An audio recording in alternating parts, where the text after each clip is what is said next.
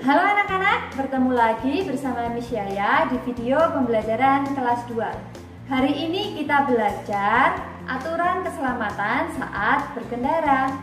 Kita belajar menggunakan buku 2H subtema 3 Oke, yang pertama kita harus selalu mengingat bahwa saat kalian hendak berpergian menggunakan kendaraan Kalian harus berdoa terlebih dahulu agar kalian selalu diberi perlindungan oleh Tuhan dan selamat sampai tujuan. Sekarang kita akan membahas satu persatu berbagai aturan keselamatan saat berkendara. Yang pertama, kita harus mengecek kendaraan kita terlebih dahulu. Kita cek remnya, lampu, kaca spion, dan lain sebagainya agar saat kita berkendara kita selalu selamat sampai tujuan. Tidak ada masalah dengan kendaraan kita.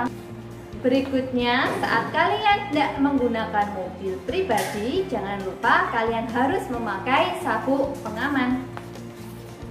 Aturan yang selanjutnya yaitu sopir harus mematuhi rambu-rambu lalu lintas. Bila mengantuk, hendaknya berhenti terlebih dahulu untuk beristirahat, ya, agar semuanya nyaman, sopirnya nyaman, penumpangnya juga nyaman. Berikutnya, tidak mengeluarkan anggota tubuh dari jendela mobil ataupun dari jendela bis. Tujuannya apa? Agar penumpang tidak terluka ya, tidak tertabrak oleh pengendara lain karena kita tidak tahu apa yang akan terjadi saat kalian berada di jalan raya. Aturan yang berikutnya adalah saat kalian menaiki bis, kalian tidak boleh berdiri di lorong di antara tempat duduk yang ada di dalam bis. Apalagi kalian berjalan di antara eh, kursi-kursi yang ada di bis.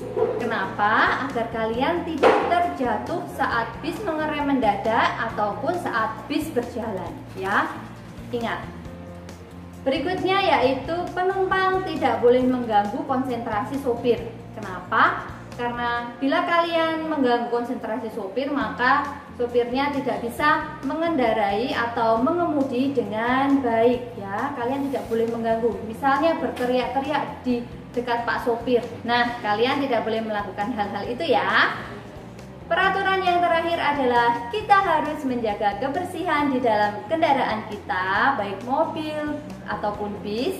Kemudian tidak boleh membuang sampah sembarangan dan juga tidak boleh meludah sembarangan. Anak-anak, bila kalian mempunyai sampah yang ada di dalam bis, hendaknya kalian simpan terlebih dahulu sampahnya atau kalian masukkan sampah kalian ke tempat sampah sementara yang ada di dalam bis.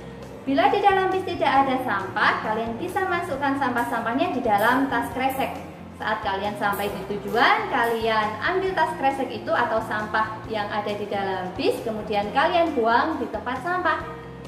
Oke anak-anak, cukup sekian pembelajaran hari ini. Kalian perhatikan di layar ada tugas Kalian kerjakan tugasnya tepat waktu ya.